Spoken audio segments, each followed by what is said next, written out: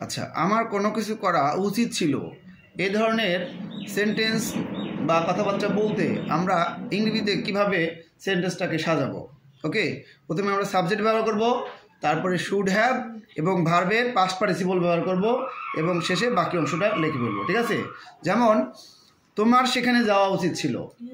You should have gone there okay তোমার ইংরেজি শেখা উচিত ছিল। You should have learn English তোমার কম্পিউটার শেখা উচিত ছিল। You should have learn computer তোমার একটি কম্পিউটার কেনা উচিত ছিল। You should have bought bought a computer ঠিক আছে? আচ্ছা তোমার মনে করো শেভ করা উচিত ছিল কি হবে? You should have shaved okay তোমার অনেক টাকা উপার্জন করা উচিত ছিল। You should have earned a lot of money তোমার ব্যায়াম করা উচিত ছিল।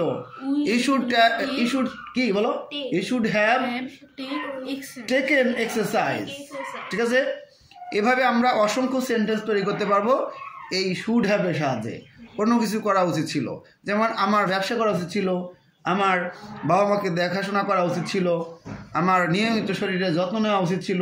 এ ধরনের কিন্তু অনেক বাক্য আমরা এই শুড হ্যাভের সাহায্যে করতে পারি। আমরা এর পূর্বে ভিডিওতে শিখলাম কোনো কিছু করা উচিত। শুধু উচিত বোঝালে কি হবে? শুড শুডের পর সবসময় কি বসে? মূল ভাব যেমন আমার এখন ঘুমানো উচিত। আই শুড স্লিপ নাও আমার এখন নিজেকে তৈরি করা উচিত। I should build up now অথবা মানে কি এটাকে বলে?